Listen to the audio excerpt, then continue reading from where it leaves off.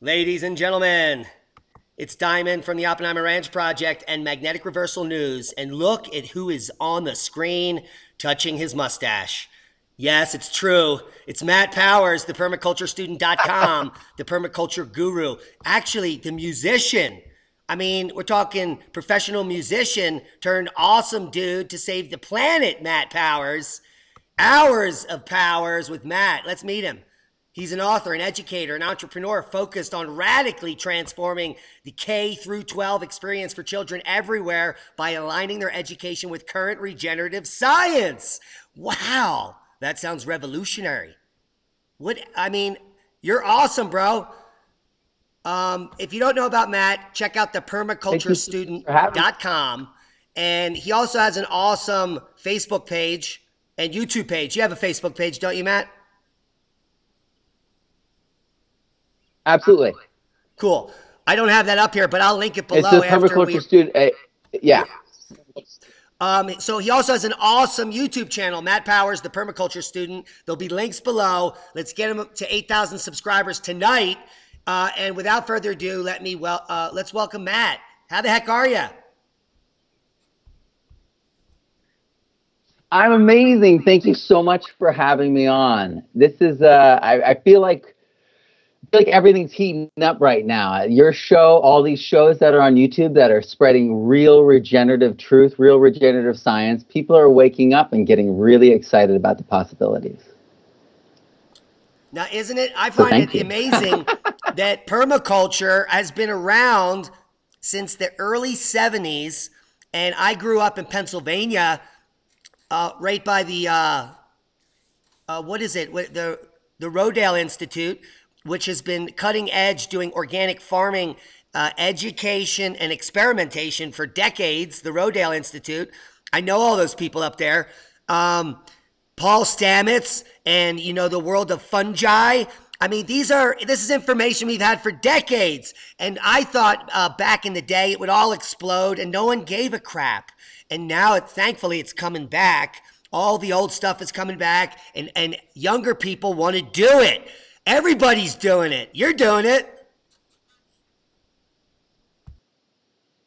Yeah, actually, it was crazy because when I started practicing this stuff, it was just for me and my family, you know, to get good food, to try to live a healthier life.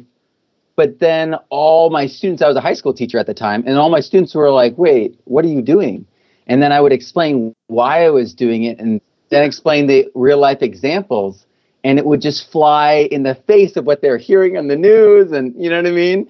And so it would just foment this endless curiosity and and then i just ended up sharing and explaining and just shifted kind of what i was teaching from english and music to permaculture regenerative living and, uh, and even a little bit of cooking.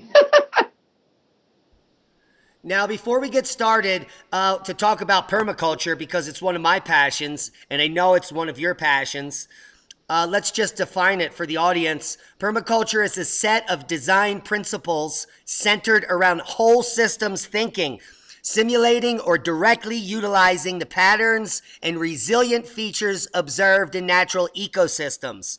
And if that is a mouthful, it means walk out into the woods, check out what's going on, and replicate that in your yard. And that's basically, uh, do you want to add anything to that, Matt? Yeah, when I talk about it with kids, I say it's looking at the world through the lenses of Mother Nature. So you're just seeing the world as if you were nature. And so you're like, oh, well, we would have to have our waste feed back into the soil if we were just like all the other animals. You know what I mean? And so you suddenly start seeing how we don't make any sense at all with most of our processes. So yeah, it's a lens, is how I see it. Now, what I have up on the screen is uh, the permaculture principles, the 12 principles. I'm sure you're familiar with them. And let me just uh, show you the this version here. and we can quickly discuss them. I will read them to the audience through them, and then maybe you can pick one or two of the principles that we can discuss in terms of how to utilize it in your daily life. So the 12 principles are one, observe and interact. Number two, catch and store energy. Number three, obtain a yield. Now, for us people in Colorado, we love to obtain a yield. Now, four, apply self regulation and accept feedback. That means don't be a prick. Number five, use and value renewable resources and services. You know, recycle for God's sakes. Number six, produce no waste unless you're pooping and then put that in the garden. Number seven, design from patterns to details or patterns in nature. Number eight, integrate rather than segregate. Nine, use small and slow solutions. I love that. Number 10, use and value diversity, something we don't do on planet Earth. 11, use the edges, value the marginal. This is very important, especially if you're trying to bring a forest biome into like a devoid uh, field or something. You want to be bringing that system in from the margin. And the final one, 12, creatively use and respond to change. I love each and every one of these. We could talk an hour on any of them. Uh, which one do you want to talk about? I think I want to talk about edges. But before I begin, I just want to say that these are David Holmgren's 12 principles from, I think, his 2006 book. There are different principles and many more. If you look at Bill Mollison's, he's the co co-creator. They're co-creators together. Um, David was a student, Bill was a professor, and together they actually created the idea when when David was like a, a genius. Seven, he's still a genius, but he was like a 17 year old boy. So um, young man, you know what I mean? Like it's just wild that this came from that relationship. So, um, and I also say care of future um, instead of fair share, in the way I do it because it encapsulates all those things without the knee jerk reaction to who's going to enforce fair share and you know that kind of thing. Um, but just to, I know I, I dive into the language. I'm an English teacher, right?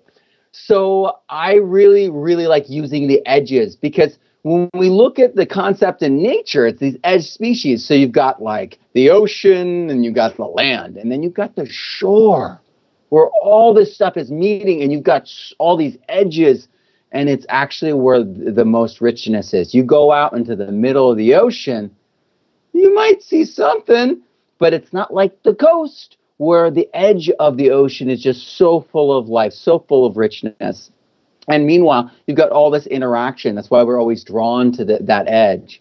And so there's this magnification, there's this exponential ri- rise in the amount of biodiversity present and the amount of reactions, the amount of interactions, the amount of cycling that happens at these spaces. So we could bring this down to a fence line about how it hatches things in the fence line and has all these extra relationships. Birds perch on the fence line and drop manure. All these things happen at edges, but then we can even walk it over here into the social, into our daily lives. Where are the edges of our understanding? Where are the edges of our social groups, of our communities?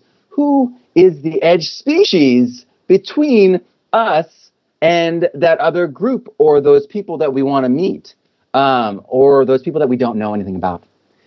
all these these edge species i'm i'm an edge species i'm one of those kids that uh, never was like in a crowd in high school never was in a clique and i like would float from clique to clique and i'd be like a part-time character in everyone's social scene. And so I was an edge species, and that's probably why I feel really comfortable talking to anyone. Um, you can, you know, throw me in the middle of Harlem. You could throw me in the middle of Fresno, middle of LA. I'm gonna be be able to re- relate to people. You know, I ta- I subbed at any school in the sixth most violent county in America, and I went to the juvenile like like work farm. You know what I mean? So I'm going to find ways to relate to you. I want to talk to you. so I'm an edge species. And so I really feel empower like empowerment comes from recognizing edges, from exploring edges, and from really celebrating those. And then that dovetails with the value diversity on that principle beforehand. But yeah, no, these are super fun and you can play with them. Obviously, like language wise, produce no waste I have a mycology friend, Peter McCoy, who wrote Radical Mycology. He likes to say there is no such thing as waste. You know, if you're not properly cycling your waste, you create pollution. But the, the reality is like a waste in our minds is actually gifts to the next part of the cycle. So I know, yeah, we we all we all have humanure, right? And we're like, oh, we got to get rid of this stuff. It's so toxic. Run away. But the reality is, if it's actually prepared properly, if it's actually we're eating really good food, we're actually giving a gift to the microbiology in that compost heap in in the soil. And so it's really about flipping a lot of the ways that we think about this. So it's like produce no waste in your mind as well, right? Right. well, even in the humanure aspect, uh, we could be taking uh, entire cities of people eating crappy GMO foods and be using that particular humanure for orchards uh, because uh, the toxins are not taken up into the fruits. We just couldn't use it for uh, actual le- leafy greens and stuff like or that. Or timber. Yeah. Yeah, or, or, or bamboo, or we could hit it with EM, and all those bad things can then be tied up into colloids.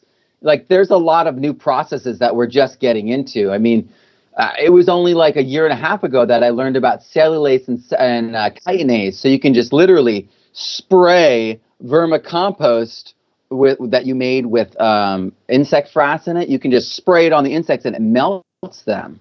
So your bark beetle problem that's taking over, we can actually just nip that in the bud and have the forest be beautiful again. But we need to actually adopt the science. We need to actually do something instead of just to have our bureaucratic arguments and pa- paper pushing. Yeah, indeed. And, and something mm-hmm. people can start doing right now, uh, which I've been doing here uh, for four years, is creating my own landrace annual vegetables. We have a Bloomsdale spinach, which I started from just a packet, you know, a, a regular packet three years ago, that now grows these like 11 inch leaves through the winter, up through the mulch. Uh, yeah. So and and and land race is simply seed saving in your region year after year after year until you get the most. What do you got there? this is my landrace amaranth. This is the one I did all those. Uh, my biggest video is on uh, landrace amaranth, and and we're on we're in the same same boat. I love it. Yeah, we grew uh we grew Epic. Love Lies bleeding amaranth here, and I sent it out to over 300 of our subscribers uh, over uh, in the spring. So they're all growing that right now. That is the way to do it. And the thing is, that's these seeds. They want to just grow, and they want to just go one to a thousand every single time. So there's no way that you can really like control and like I mean, as soon as you share it with someone, it just exponentially grows and becomes this abundance and this wealth. My son was going through my seeds yesterday, all the seed bins that were out and everything, because we're preparing for, to, to plant, because we just moved into this new location. And he was like, I wish these were money because we'd be wealthy, we'd be rich. And I'm like, well, we are. I mean, look at it. This is wealth. It's like the seeds are the legitimate wealth. And the landrace seeds are like the hundred dollar bills. You know what I mean? Meanwhile, everything that you buy in a store is all like one to two dollar, five dollar. You know what I mean? Bills. Um, it's that stuff that you've done yourself that, that you put years into. That's the stuff that's going to surprise you. That's going to give you the deep nutrition.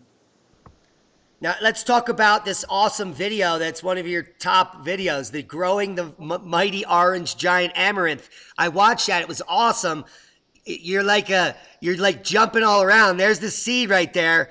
Um, let can you tell us the story? How big was the first one, and then how did you get it to grow 14 feet high?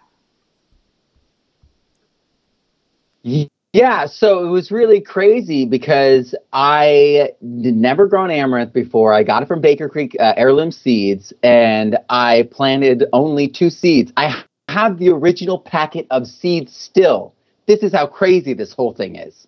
Meanwhile, I've got over a thousand, maybe 2,000, maybe 3,000 people because I've been giving away these seeds for six years now. And so this, I planted it, and the first year I just saved a half cup of seeds from the one surviving plant. Had two plants. The first one died. The second one, half cup of seeds. It was incredible. I was like, this is the most seediest plant ever. And then the next year, I grew out like uh, I th- I think the next year is the year that you see on video. I think that might be the next year. And if it's not the next year, it, there, there's one year between it only. But basically, what I did was I focused on my soil. That's what I really am. You know how Joel Salatin says, ah, I'm a grass farmer. I'm a soil gardener, farmer, everything. And it's like the soil and the seed. It's like those two pieces are the dynamo of action for me on any site. I go in there, I'm scratching at the soil before I look at anything, and I'm like, ooh. Well, everything I'm going to do, I'm going to basically be chopping and dropping and, tr- and pushing back into the soil. I'm not going to be pulling out of the system if that if that soil is messed up. Um, so so yeah, I, I, I focus really on on the soil, and when I did that, I was doing compost teas. I was actually putting uh, the crystals from water kefir into my compost teas, and I didn't realize that that would be having effects, but that totally has effects that I've only figured out um, uh, the potential for in, in, recent years. But I was doing that and I was digesting this decomposed granite crystalline sand like structure into dark chocolate loam in months' time. And yeah, I was bringing in, you know, bunny manure and, and bedding from the goats. But it, was that the biology that was able to digest those things and you're like wait but decomposed granite is mineral yeah because we got fungi in there and and like so we had all the different components that actually could break down all the parts of the soil to make that organic matter and make the that those rich carbonaceous connections make those minerals soluble yeah they're eating rock and making them soluble you know and so that's the reason why uh, it got so big and yeah i was always adding the goat manure, always adding bunny manure. Um, and I was always mixing. So I was doing manure based compost, I was doing vermicompost. I even had some moldering compost that I would mix in. And so the biodiversity, I was always trying to find all the different edges and bring them all in. And now, now I'm using EM on top of all that and do bokashi and stuff like that. So I'm bringing in even more. I'm bringing in the facultative, not just the thermophilic aerobic, and the um, vermicompost um, organisms, which all have unique um, capabilities for digesting different spectrums and releasing different spectrums of good things. So, um, so, so that's what I really do, and the end result is I get crazy seeds, and I also do things where I'm selective with my seed. So, uh, and my plants. I'm walking. I, I, I say it all the time. Um, where's my knife? There it is. Um, ah, I almost cut the internet. All right. So, um, but I'm always walking around and I say I garden with a knife because I'm going, I'm cutting down all the weak things. I'm cutting down the weeds and not pulling them. And the strongest things are surviving in the garden. And then I'm saving seed from the strongest of the strong. And then a few years into that, I mean, that, you've got the best of the best of the best of the best for your bioregion, and you end up completely in a different, you know, a completely different galaxy of awesomeness. Man, that's a mouthful. And for the layman, basically, uh, you put all of the organic inputs that you possibly have in your region accessible to you. At the same time, you want to build the fungi and the mycelium in the soil and you also want to add that rock dust, which is your, your, granite over there. A lot of people buy azomite. We, we live in a valley with a river that has rock dust in the spring. So, and you want those minerals present because if you have everything present that the plant needs, the plant is going to prosper and give you the best result. And then you're going to get the best seed and, and you do it again and again and again until you have the incredible Hulk of whatever you're growing.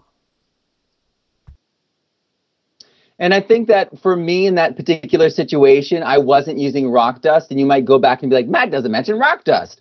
But the reason I was able to really get away with that is because it was a dry climate. And in a lot of these drier climates that have had nutrients in the past, they are still there and preserved in the soil really, really well.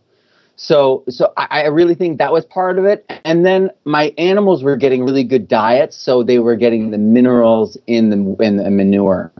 that's another trick is you could actually be fitting, uh, feeding the minerals to your animals and then having it in the manure um, as well. And then your animals uh, have that added benefit. And if you're milking, you have that added benefit.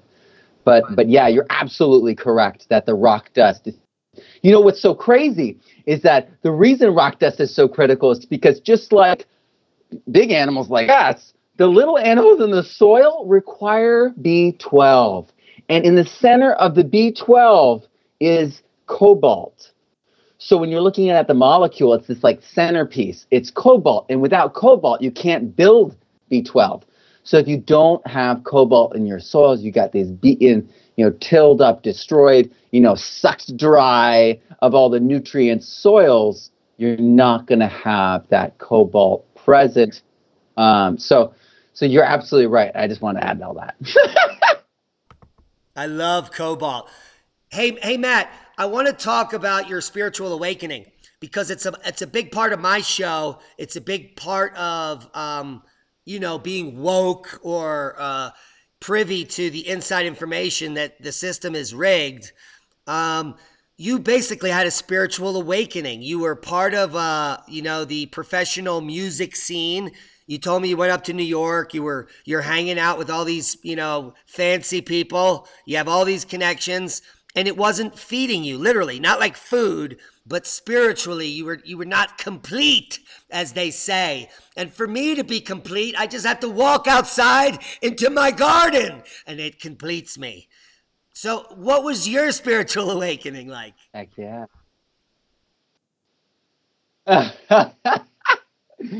All right. So, wow, I could answer this so many different ways. Um, so I don't know if you know my whole story. I was an alcoholic and I went to church for the first time with my wife and stopped drinking that day. So there's like a whole backstory to that. But what so that so that's like what what started it, right? Like I stopped drinking. And so that all the the glitz and the lights and things like became a little bit more garish, perhaps. Um, I was a I was the kind of person that would get two drinks because I got two hands, and so I and I Crohn's right. So I was self medicating, and people with Crohn's who drink die quick, and I was spitting up blood. I was passing blood regularly on a daily basis. Um, I was a mess. Um, and when my wife met me, I didn't actually have a home. So she started feeding me. Um, and and then and actually a little bit later I, I was staying on a friend's couch uh, regularly but but like I was making a mess of my life at the same time as I was recording in Electric Lady Studios, you know, where Weezer did the Blue album, and then I was going to like you know, the p- former power station, which is now uh, Avatar, where John Lennon recorded. And I'm like in all these great places, but I'm just dying inside. I'm killing myself with alcohol. And I, I know people who do regenerative meat and they're wonderful people. They're all, you know, moderate and everything. I had none of that in me. I was like a burning fire, like fireball. Everyone thought I was a party animal. You know what I mean? I would stay up for days. Um, people say I have a lot of energy, right? Well, I was burning it up um, back in, at that point, and so I stopped drinking, and I felt really good because I had I got to the point where I had no money, and I kept drinking, and I just was like miserable because I felt like such a jerk because I couldn't like contribute or save any money, and I just felt like this like bum, and so I felt that powerless and so when I was able to stop drinking, it gave me this perspective, reflection. I stopped, I just stopped so many things and started just really focusing on what I wanted to do, what I wanted to be. And then as I really kind of dialed it in in the music industry and started really dialing it in and got really close and focused and, and sober, um, I was I was freaked out. I was really freaked out by what I was seeing.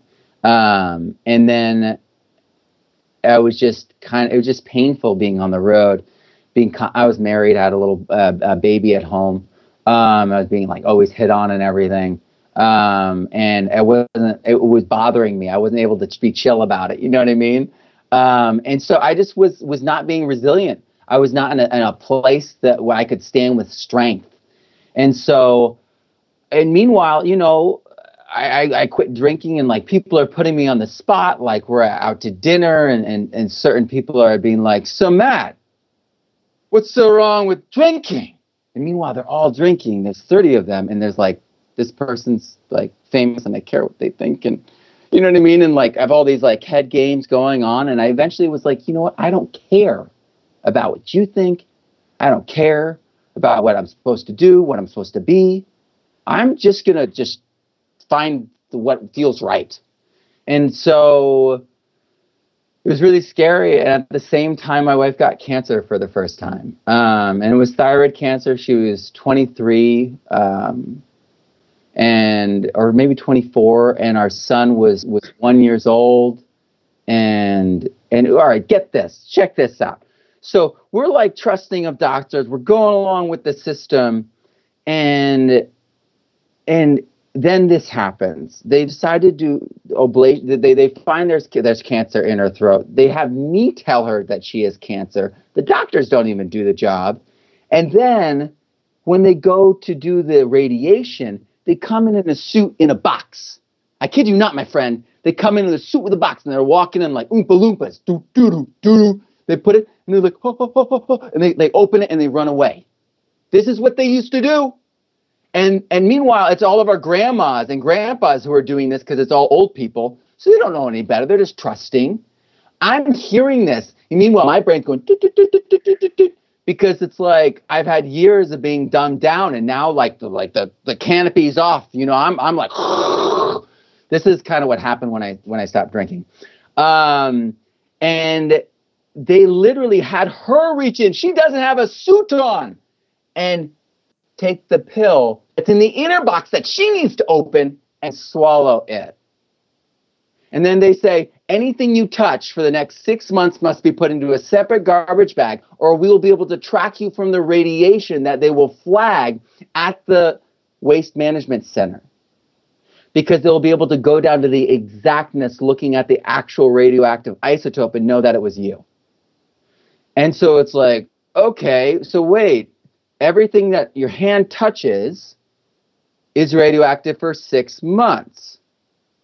What happens with all the old ladies who are on Medicaid who are going home on the freaking bus to go home, meanwhile contaminating every single person on that bus for six months? So I got pissed. I got lit up and I got like ah, and so, the first like five six years of my marriage like are basically like me coming to grips with all this stress and and then her continuously getting cancer.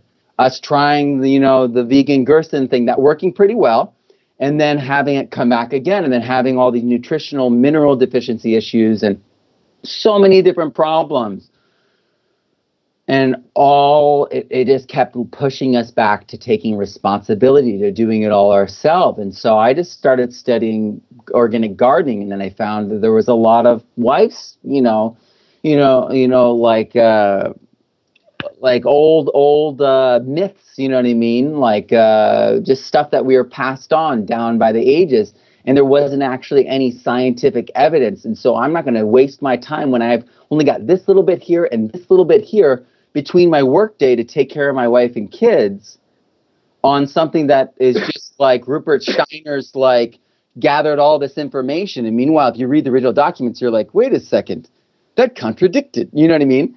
And he all he did was gather the information that was dying off at a time period when organic agriculture, all the different cultures, different versions of it, all over the place were dying out because chemical ag was coming in.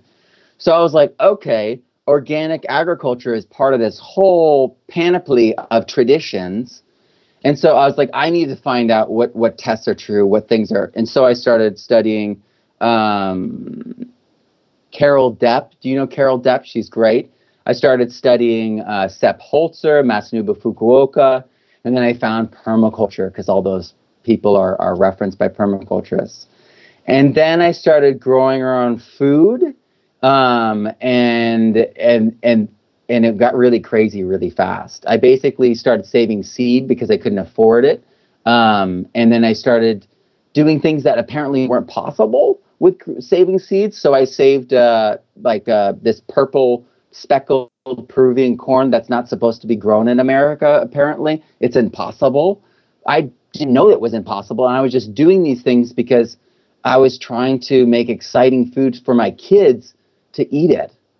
So it's like if I'm going to grow this and my kids are like, oh, I just want mac and cheese. It's like I've got to make this the most exciting food possible, and then also it's got to be the best tasting so that my wife eats as much of it as possible and all this stuff. So I just, I just threw all that desperation, all that fear into action because I had no choice. I mean, it's like I'm already on a dead end street. I'm a high school teacher and in, in Madera County, California, and my wife has cancer for like the fourth time.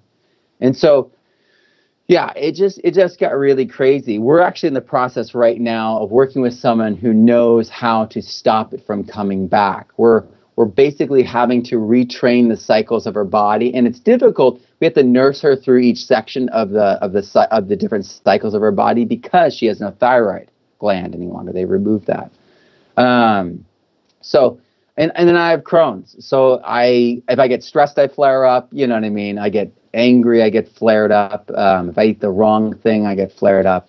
So it's for us it's a we're kind of like uh, cautionary tales canaries in the for the rest of the team. so I just became this, you know, this this advocate because of um, how crazy things were um, for us in our life, and I, yeah, I've gotten to play with, uh, you know, uh, I've gotten to record with Steve Lillywhite, U2's producer, you know, Dave Jerden, who worked with Jane's Addiction, all those awesome Alice in Chains records. I even got to play on some of those Alice in Chains amps. Oh my word, ridiculous. But yeah, so I got to like taste my full like childhood dream and everything. But because it really didn't serve people, and because the music that we were writing and sharing with the world didn't like actually change the world or make the world a better place in whatever you know way that you want to do it, um, it, it it just it didn't do anything. It was really just about you know being able to play music professionally. You know what I mean? It's it's it's really funny. It's like we want these things in life, but the wanting that thing is not enough meaning and purpose to fulfill you when you arrive there. so it, it's got to be bigger than that. Is what I learned and what you know really allowed me to let go uh, because for years after I kept trying to create new music and try to be somebody in the industry. And I'd be out there in the middle of, you know, the hill country and foothills of California, like writing my friends in New York, be like, hey, I, I wrote this new song. And they'd be like, oh, cool, Matt. That's great. I've got to go now. We're playing the House of Blues. You know what I mean? And I'm like, okay. And obviously, you know, the House of Blues isn't like crazy, like high level playing or something like that but that's you know where I was and what I loved at that time period. So for years that just burned me up, and I wanted to be. And then I, I think a silver lining is that my son is just like a hundred times better a musician than I ever was. Like my homeschooled son, just like burns me as like a kid. Like he's just so good that it kind of makes you know my whole dream and I get in my dream just being like, wow, you were just lucky to be there, weren't you, Matt? so so yeah, I've had some humbling, you know, things. I've had some speed bumps in my life, um, some chipped teeth, some uh, some missing teeth, um, but uh, but but yeah, it's definitely um, rolled off my corners and, and taught me um, what needs to what needs to be done to uh, make things really happen. To be a regenerator, not just uh, on the landscape, but in the community, um, to serve a, a greater audience. Yeah. well, that was amazing. And you're a hero and an inspiration to many. And you and I uh, share very similar paths. I just picked up my nine year chip last week, and it was nine years ago when I became an activist, and and this all began. So you and I are following the same path and are at very similar places. It's it's pretty amazing. Wow, that is really powerful. I had no idea. I wonder how many of us, um, when we you know break those chains, just become these like beasts. And maybe someone hearing this is about to break their chains. yeah. Well, it's definitely divine inspiration, and you are a divine inspiration to uh, permaculture and to uh, teaching permaculture to kids. Uh, and the permaculturestudent.com uh, is your baby, and you have this uh, this in, in book form, don't you? And it's now like translated in 486,000 languages or something like that. Only six. Only six, but there's about six more that are in production. I've got like Swahili and Turkish in production, but I've got Arabic, Spanish, French, Polish, and Italian. So it covers a huge section of the earth. If I can get Chinese in there, and actually right now we have um, um, we have the the main language in Afghanistan, which is Dari, being translated, and then they're actually planning to give it to someone in Iran to translate into Farsi. And as you know, these things are absolutely life changing for people in all in all these circumstances all over the world in, in many different ways, obviously. But it's rolling forward and it's rolling fast. What I do is I tend to share my books. So you can find my book, The Permaculture Student 2, right there. You can see it right there. That's over 400 pages. It's the first peer reviewed textbook that is a global textbook since the 1989 Bill Mollison's Permaculture Designers Manual. It is crazy off the hook. And the reason, you know, I say it like that is because we expanded permaculture. We, we have ocean regeneration. We've got riparian wetland regeneration. We've got large scale regeneration examples now. They didn't have that in the 80s. I mean, eh, eh, the Loess Plateau project, which went viral in China and actually re- regenerated over 500,000 square kilometers of desertified land, we didn't have that. So we've got numbers now, we've got facts, we've got so much science comparatively to the 80s and 70s. And, and that's kind of inarguable. You know what I mean? Everyone kind of knows that. But none of the actual textbooks were actually citing any of the information. So there was not really much updating going on. There was a lot of like, I'm just going to copy what they wrote in that book and not even cite it. And I'm an English teacher. I'm so, what are you doing not even citing your work? And for me, as an English teacher and a researcher and someone who really wants truth in my life, if I can't verify where that little tidbit fact came from, I'm not going to trust you.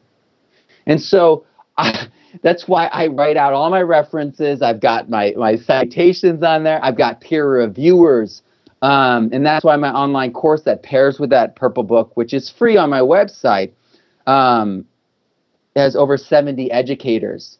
And my my courses, you know, you've probably heard of permaculture design courses.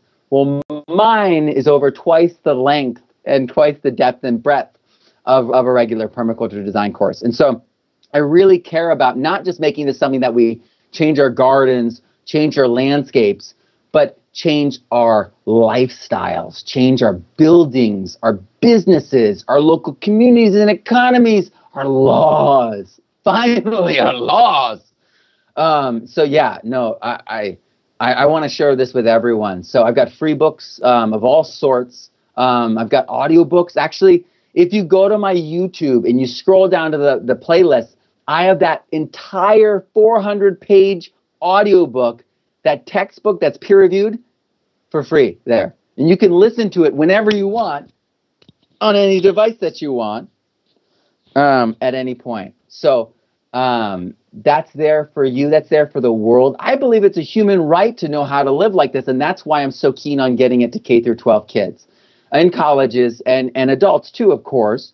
But if we can get this information into kids' hands, they're going to be able to call BS on stuff like that. When they read things, when they see things, they're going to be like, no, no, no, no, no, no, no, no. That's not the way nature works. Let me explain. Because these concepts are not rocket science and they're not brain surgery, you know?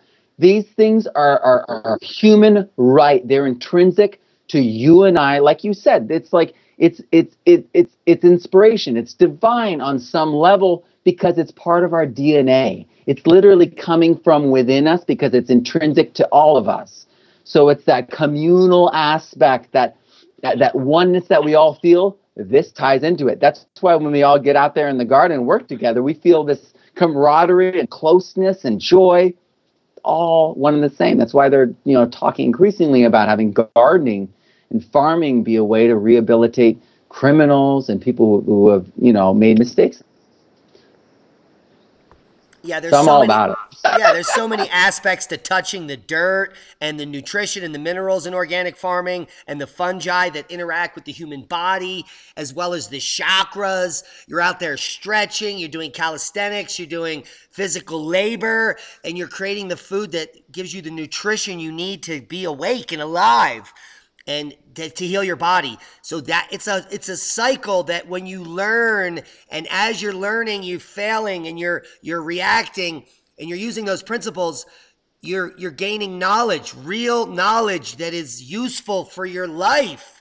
Uh, it, it's so true permaculture to my existence that the more i do it the, the less i know about it. It's that amazing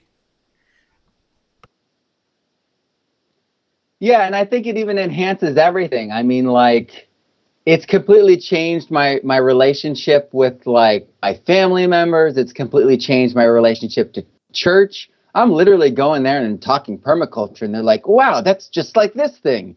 And then I talk to someone else, and I just talk permaculture, and they're like, "Wow, it's just like my own religion." And I'm like, "It's because it's the commonality, it's the common thread in all of us that we need that we live regeneratively with the earth. So your philosophy, your ancient culture, this philosophy, all of them, if they're correct, if they're even partially true, will flow, will lead into permaculture because we all want to have permanent cultures. We all want to honor the earth. We want to honor people, and we want to go on into the future. Matt, it's been a pleasure. You're awesome. You're an inspiration. I'd love to have another conversation with you in a few weeks or months. Uh, if you're listening out there, Matt's an awesome guy. Yeah. Uh, he's got the free, both courses up on YouTube for free, but he also needs you to buy stuff so that he can pay his bills. So go in there and buy his books, share his stuff online, share his information, because um, he is an inspiration to everyone. And permaculture is the solution. It will be the solution now. It will be the solution in the future. It doesn't matter what happens. If we have a catastrophe, the grid goes down, permaculture will be the solution. Matt, uh, thank you for coming on. Uh, do you have any parting words? EMP. It's been a pleasure. Yeah, it's absolutely been a pleasure. I can't wait to do it again. I feel like, like you said, we've got a lot to talk about. There's this huge overlap. Um, so I would just end with that. As long as you're on this path, you may be like, "Oh my word, you just said so many things that I had no idea about. I feel totally left out or totally intimidated." Or you're like, "Wait, I understand some of this thing, but that doesn't make sense." Dive into the material. Just that's why there's an audiobook. That's why I have so many uh, sample videos from my courses online. Um, because I want people to just start. No matter where you are, there is something in your life that you're doing right. and it's just start there, honor that. Be like, yeah, I'm doing permaculture in that spot of my life. And just start expanding from there. My silly, you know what I mean? Just like step by step, piece by piece, bit by bit and you'll start seeing it. You'll feel the reward from it, and it will grow exponentially. And before you know it, you'll have done the whole food forest in the backyard. You'll have your water storage done. You'll have your food, you know, your, food storage, and then you'll start working on that uh, alternative power. hey, and that, and you know what that does? That that relieves all of your anxiety because you're ready. You're ready for anything, and you are self-reliant and self uh, resilient. And if you guys are looking for a place to start, start here. Matt Powers, the permaculture student on YouTube. Subscribe to the channel and watch his videos. And then when you're bored, come over to the permaculturestudent.com and buy a course. It's been a pleasure. You're an inspiration, Matt. We love you. Thank you so much. See you soon.